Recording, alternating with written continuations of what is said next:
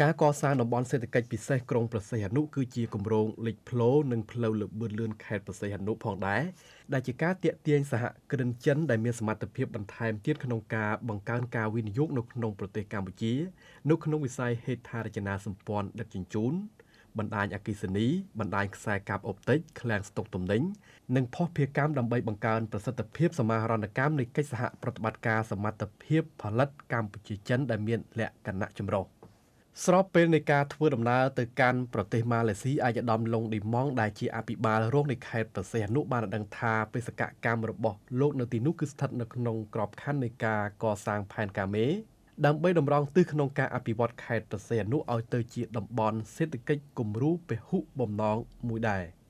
ឯកឧត្តមបានថ្លែងថាផែនការមេដែលសិក្សានិងរៀបចំដោយក្រុមការងាររបស់វិទ្យាស្ថាន UPDIS នេះគឺជាមហិច្ឆតាដ៏ធំមួយរបស់រដ្ឋាភិបាលក៏ដូចជាខេត្តប្រសេះអនុក្នុងគោលដៅប្រែក្លាយខេត្តប្រសេះអនុជាពូលសេដ្ឋកិច្ចអភិវឌ្ឍថ្មីមួយ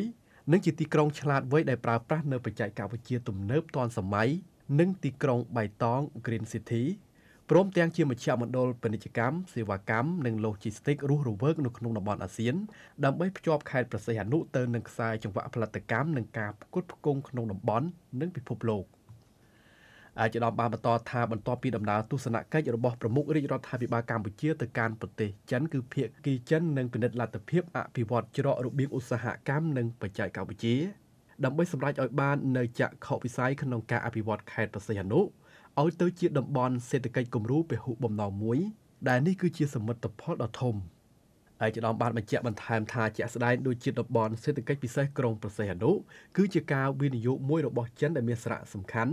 ដោយតំបន់នេះបានដើរតួនាទីយ៉ាងសំខាន់បើទោះបីជានៅក្នុងអំឡុងពេលនៃ COVID-19 ក៏ដោយក៏ការផលិតនិងការនាំចេញមានការកើនឡើងជាបន្តបន្ទាប់ តកតងទៅនឹងបញ្ហានេះផងដែរអ្នកវិភាគសេដ្ឋកិច្ចនិងជាប្រធានមជ្ឈមណ្ឌលសិក្សាចិននៃរាជបណ្ឌិតសភាកម្ពុជាលោកគីសរីវត្តបានលើកឡើងថាចំពោះការរៀបចំខេត្តព្រះសីហនុឲ្យក្លាយទៅជាតំបន់សេដ្ឋកិច្ចគំរូពហុបំណងនេះគឺជាទម្រង់ទីក្រុងប៊ូសានរបស់ប្រទេសកូរ៉េ។ លោកថាអ្វីដែលរដ្ឋាភិបាលកម្ពុជាបានរៀបចំផែនការមេសម្រាប់កសាងតំបន់នេះគឺជាសក្តានុពលមួយដែលជំរុញឲ្យតំបន់ពាណិជ្ជកម្មនិងសេដ្ឋកិច្ចដែលនៅជាប់មាត់សមុទ្រជាតំបន់ដែលងាយស្រួលក្នុងការប្រមូលផ្ដុំ ការធ្វើពាណិជ្ជកម្មជំនួញហិរញ្ញវត្ថុនិងទេសចរជាដើម។ សូមជម្រាបថានៅក្នុងជំនួបរវាងសម្ដេចតេជោហ៊ុនសែននៅសាលមហាវិមានប្រជាជនចិនក្នុងរដ្ឋធានីប៉េកាំងកាលពីថ្ងៃទី10កុម្ភៈកន្លងទៅថ្មីថ្មីនេះឯកឧត្តមលីខីឈៀងនាយករដ្ឋមន្ត្រីចិនបានមានប្រសាសន៍ថា